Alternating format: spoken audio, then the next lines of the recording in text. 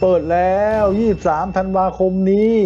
สกายเลนไทยแลนด์ตั้งแต่ปิดให้ปรับปรุงเป็นเวลานาน ก็ได้เวลาในการเปิดให้ประชาชนเข้าไปใช้งานได้สักทีนะครับ หลังจากเลื่อนแล้วเลื่อนอีกก็ได้เลิกสักทีครับ แต่ว่าวันที่ 23 ธันวาคมนี้ ก็เป็นการเปิดให้ทดลองใช้บางส่วน หรือเป็นส่วนใหญ่ที่เสร็จแล้วฮะมาดูความคืบหน้านะครับ นอกจากจะมีการปรับปรุงให้มีเลนคู่นะครับ ความเร็วต่ำและความเร็วสูง แล้วก็ทางที่เป็นระยะไกลและระยะใกล้ให้ขี่กันมากขึ้นครับ บางช่วงนะครับก็ยังมีสะพานนะครับ ยกระดับยาวเลยครับ เพื่อจะ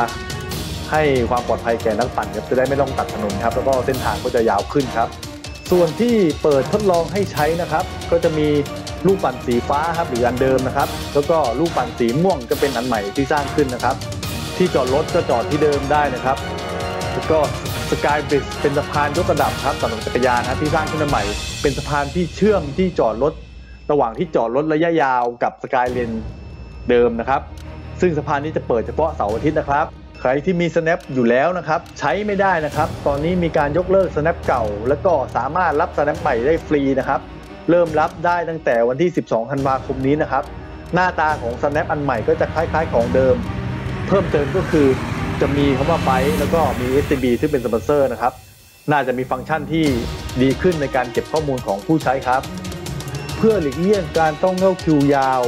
ในการรับ snap ในช่วงวันเปิดจะให้นักปั่นนะฮะสามารถรับ snap ก่อนวันที่ 23 ธันวาคมได้ครับ การรับ snap ใหม่ก็คือเอาบัตรประชาชนแล้วก็หมายเลขโทรศัพท์นะครับมาลงทะเบียนรับได้ที่จุดรับนะครับ ก็จะเป็นห้างไทยพาณิชย์ประมาณ 20 สาขา ส่วนใหญ่จะเป็นสาขาในห้างสรรพสินค้านะครับ ซึ่งสาขาไหนบ้างไปดูได้ในเว็บไซต์ของ Skyline Thailand นะครับ ย้ำกันอีกทีนะครับ